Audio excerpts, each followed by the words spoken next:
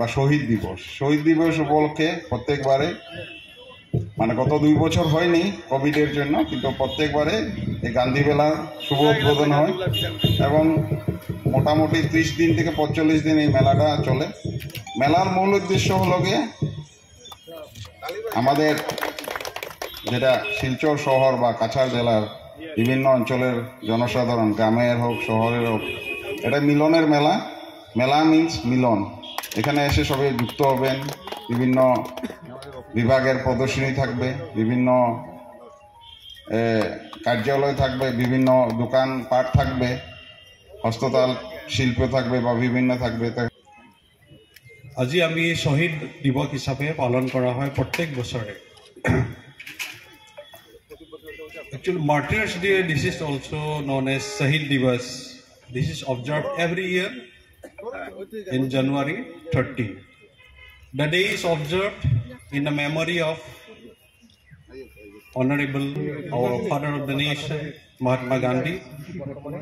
On this day we pay tribute all those freedom fighters কিমান মুক্তি যুঁজাৰুসকল আছে তেওঁলোকৰ স্মৃতিত আমি শ্ৰদ্ধাঞ্জলি জ্ঞাপন কৰোঁ আজিৰ দিনটোত।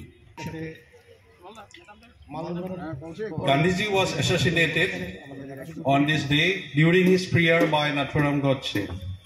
Martyrs' Day is observed all across the country. It is observed to pay homage to Mahatma Gandhiji and all other freedom fighters. Mahatma Gandhi is also known as the father of the nation who was born on October 2nd in the year 1869. He was a famous and influential political and spiritual leader. He also received international recognition.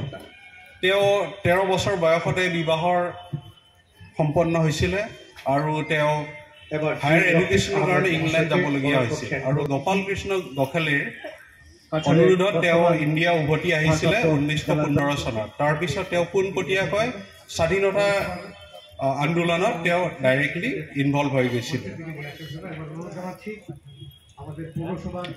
আজিৰ দিনটোত যিহেতু আমি ত্ৰিছ জানুৱাৰীহে একেটা দিনতে আমি প্ৰত্যেক বছৰে গান্ধী মেলাও আয়োজন কৰোঁ একেটা দিনতে। আৰু সেই গান্ধী মেলা আয়োজন আমাৰ এইবাৰ আমি মিটিং যোনখন Gandhi Mela exhibition committee meeting আছে আমি সিদ্ধান্ত লৈছিলোঁ যে আমি ত্ৰিছদিনীয়া কাৰ্যসূচী এটা ল'ম বুলি আমি এটা সিদ্ধান্ত লৈছিলোঁ। পোনপটীয়াকৈ এইখিনি দেখা যাব এতিয়া। কিছুমান আমাৰ কাৰ্যসূচী অলপ পলম কৰিবলগীয়া হ'ল কিছুমান আনএভইডেবল চাৰ্কামষ্টেঞ্চেছৰ বাবে। কিন্তু যিয়ে নহওক আমি সকলোৰে ৰাইজক ৰাইজৰ সহযোগিতা অনুৰোধ জনাইছোঁ যাতে আমি খুব সুন্দৰভাৱে এই মেলাখন আয়োজন কৰিব পাৰোঁ।